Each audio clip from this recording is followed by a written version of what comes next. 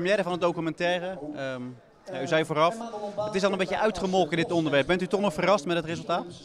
Ja, ik, uh, er zijn in het verleden al wel veel reportages gemaakt, ook, ook in Korea, et cetera.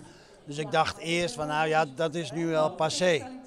Uh, uiteindelijk is het toch gebeurd, aandringen van uh, met name Fouke de Koe.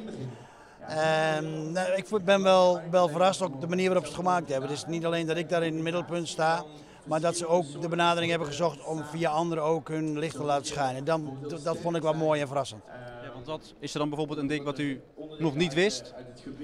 Bijvoorbeeld dat, dat uh, de documentairemaker in de bus meeging, dat soort, dat soort dingen? Ja, nee, dat heb ik echt niet geweten. Ik denk dat ze heel, heel leuk gluiperig achteronder in de bus zijn gekropen. Want als trainer ga je voorin zitten. Je kijkt wel even wie er allemaal in zitten. Maar dat hebben ze, ze hebben zich goed kunnen verbergen achter in de bus, denk ik. Ja. Ik uh, zat net te kijken en ik had uh, vaak kippenvel, want ik vond het mooi om te zien. Ik herinner me ook nog, ik, was niet heel oud, maar ik herinner me dat toernooi nog heel goed. Ja, hoe was dat voor u? Ja, er waren echt, dat zijn momenten dat ik denk, oh ja, dat was daar en toen. En dan zijn er wel best uh, kippenvelmomenten. Ja, die zijn er. Met name als ook dan de beslissing valt.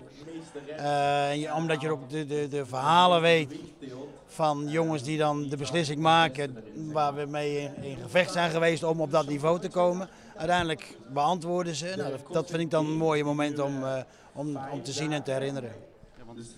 Wij denken altijd een beetje, in Korea waren ze uh, lyrisch over u, maar hier kwam ook uit dat in het begin dat ze het helemaal niet zo leuk vonden dat, dat, dat u er was. Nee, de, de, focus is natuurlijk geweest op het WK, het presteren daar en iets daarvoor, want toen hebben we ook al goede wedstrijden gespeeld. Engeland, uh, resultaat gehaald, onder andere vriendschappelijk Frankrijk, goede resultaat gehaald.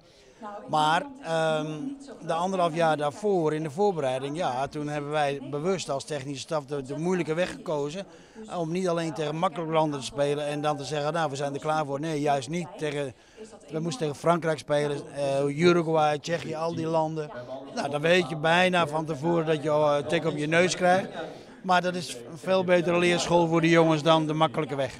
Dus krijg je dan ook in, in de pers krijg je de fix, fix van Langers, ja.